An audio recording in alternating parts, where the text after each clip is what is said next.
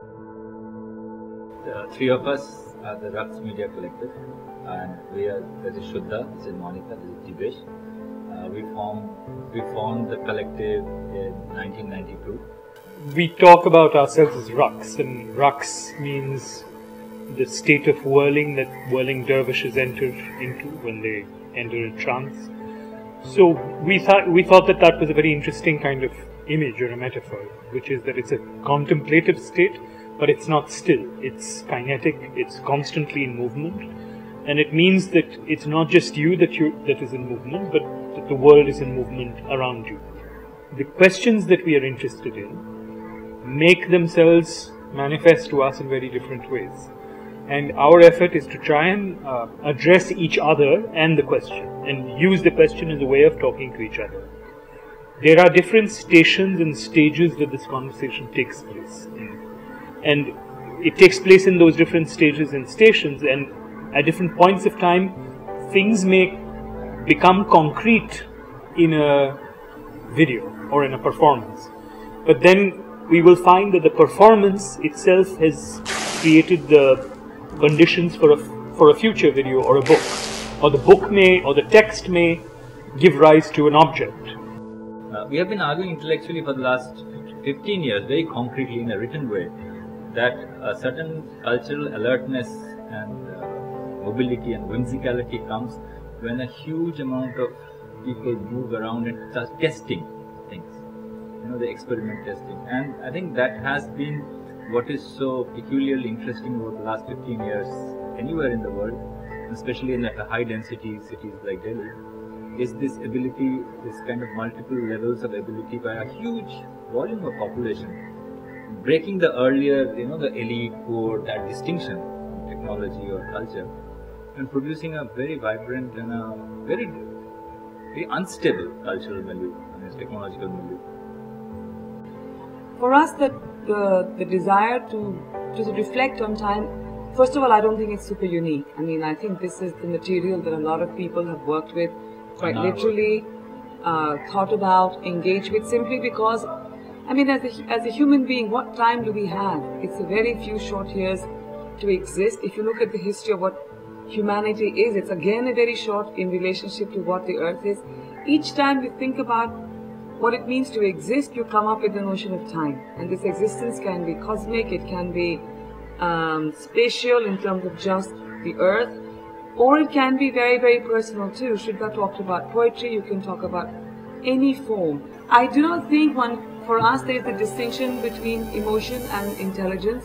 I would agree with you, or with, with when it is articulated, that it might seem so um, but I think there is also the kind of hegemony of cerebri- cerebri- cerebrality, which is exhausting. I mean, we've all been there, we've all experienced it, and, and it's not, it is equally exhilarating. But I think for us, this distinction, and the more one experiences life, the more life, and the more life experiences one has, I think these things seem even thinner as a fabric uh, of construction. I mean, the clock that we often work with marks time in terms of the emotions, actually. Creates a palette of emotions and creates a, a kind of network of living in the world because it's, these are clocks aligned to longitudes uh, across the world, such that you can get a map of, of feelings, of emotions in the world, where ecstasy or exhaustion or guilt or pleasure can all be configured in, in ways of living in the world in time. That, that's why I'm, I'm, just saying that it, keeps on coming out because there is this idea that we are very cerebral artists and then there are experiential artists. So to mediate it, we did this uh, kind of invent a concept which is called sen- sensation of thinking. So then, how do you then sense it? How, how does your body viscerally? So that's our mediation. That we are interested in the sensation of thinking but thinking not as some kind of a dry act of expertise, but thinking as a living human praxis of making sense and values in the world. Language contains within it not just the things that are said, but also the things that are unsaid. When we use text, when we use inscription, let's say inscription, we're not just using letters of the alphabet. we work a lot with question marks, exclamation marks, punctuation. These orthographic signs are usually the things that stand in for what you cannot say. When you work with text or when you work with any medium, very quickly, if you work intensively, you come to the limits of it. Like if you work, if you ask an artist who works very seriously with paint, they will know better than anyone else the limitations of paint, and they work with those limitations. Similarly, with when we work with text, and it's not the only thing we work with, we have over time come to an awareness of the of what text cannot do.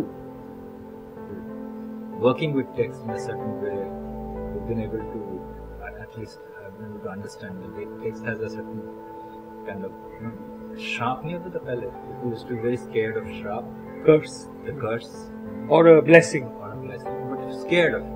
And blessing, the reason was that it could act on you, you know, could have a repulsion, and had, you know, had a had a force, an affective force that would act on you. So I think that text does have that, and we're, I we're trying to somewhere, in some way, trying to investigate that power to act, which the, you all give up that advertising has understood it and doing it. We all give up to the idea of politics, that politics through idea of slogans and and Jitish uh, note and his idea is to also look outward, look outward into. He calls it the observation deck. Like Biennale as an observation deck to look into the world, and and also it, uh, we have we appreciate this position because for us uh, a, a site becomes interesting when that site actually tells a story about the world. It doesn't tell us only about itself. It actually it tells you how the world looked from there.